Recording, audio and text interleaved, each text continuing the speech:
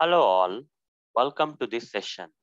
In this session, I am going to answer software testing interview question 75. That is, what is bug taxonomy? Let me answer. In software testing, as part of bug taxonomy, we define different feature categories of the application and thereby adding test ideas for each of the feature category which may result in possible bugs. Okay, so that is what is bug taxonomy.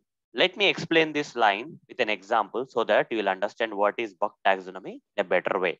For example, there is an application like Tutorials Ninja. I'll show you the application also. You see, this is the application, Tutorials Ninja application, right? So if I am testing this application, if I have to prepare a bug taxonomy as part of testing this application, if I have to create a bug taxonomy, I'll be creating like this. This is the project or application name. And for this application, I'll be defining different feature categories. What are the different feature categories in this Tutorials Ninja application? As you can see, we have a category like register account functionality, right? This is one feature. Registering an account with this application is one feature that I mentioned here, register account. And also, this particular application has another feature known as login feature. Okay, here I'll try to log into the application, right? That is another feature. And other features in the application like search feature, add to cart, checkout feature, placing order feature, all the other features I'll mention here. So these are samples, so I'm not creating the entire bug taxonomy. So for a particular application, as part of bug taxonomy, we define we define different feature categories of the application. Okay, we define different feature categories of the application like this: register account, login, forgot password, logout, search, and so on. Like that, we'll define different feature categories for this application. Okay, and after that, for each and every feature category that I mentioned here, we are going to add the test ideas. For example, for register account, what are the test ideas I added for this as part of this bug taxonomy of this application? For register account, I added the test ideas like invalid email address. Okay.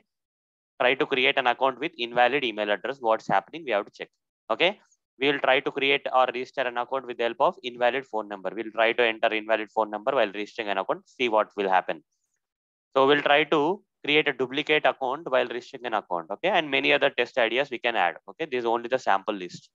And for similar, similarly for register account, the way we added the test ideas, right? Similarly for the login uh, feature also, for login feature category also, we can add some test ideas like uh, SQL injection payloads. We'll try to insert some SQL injection payloads uh, to see whether the hacker is able to bypass the authentication process, okay, the login process or not. Without having the valid credentials, whether the hacker is able to log into the application or not, we'll check.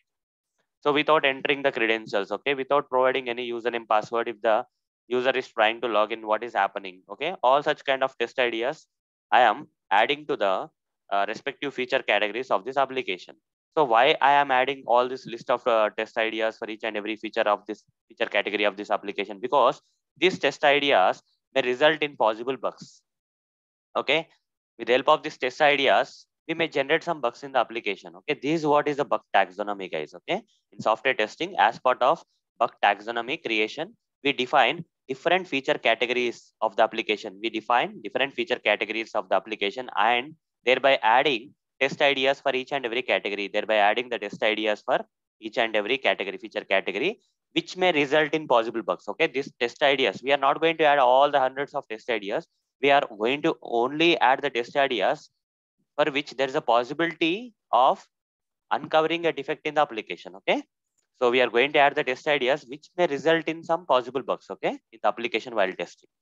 So this is what is called as bug taxonomy guys bug taxonomy if you give this bug taxonomy to the uh, uh, newcomers okay new software testers okay who are newly entered into the software testing field okay they can test the application better they can learn a lot and also the experienced people okay experienced software tester also can use a bug taxonomy uh, to increase the test coverage to increase the test coverage they're already testing well but on the top of that if they are missing any ideas okay so they can use this bug taxonomy so that they can increase, okay, increase the amount of testing by increasing the test coverage. So this is what is bug taxonomy, guys, okay, and this is how it is created, which in simple terms is nothing but as part of bug taxonomy, okay, creation, we define different feature categories of the application. All the feature categories of the application we define here, and for each and every feature category, we are going to add test ideas which may result in possible bugs. Okay, all the test ideas we are going to add for each and every feature category that may result in possible bugs. Okay, and this is what is bug taxonomy. So hope guys you got the answer for what is bug taxonomy and what is the use of creating this bug taxonomy. So that's all for this session. In the next session, I'm going to answer another software testing interview question for you. Till then, see you. Bye-bye.